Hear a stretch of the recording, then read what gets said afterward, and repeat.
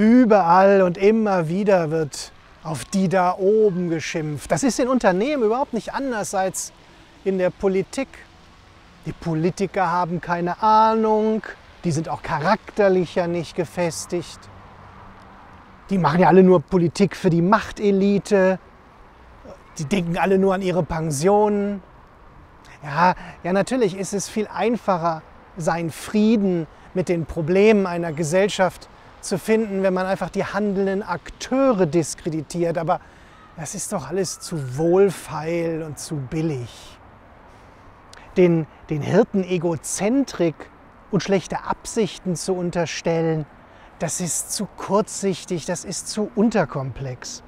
Klar, es gibt eine leicht feststellbare und auch leicht kritisierbare Dummheit des Handelns, aber die ist ja viel weniger den mangelnden kognitiven Fähigkeiten der Akteure als vielmehr der, der immanenten Dummheit des Systems geschuldet. Und auf die guten Absichten kommt es schon mal überhaupt nicht an beim Handeln.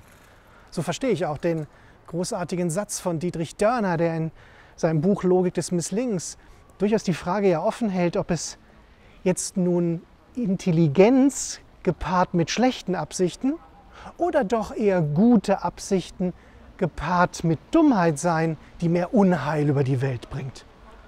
In dem Sinne, lass uns weniger über gute Absichten palavern und viel mehr über Systemintelligenz.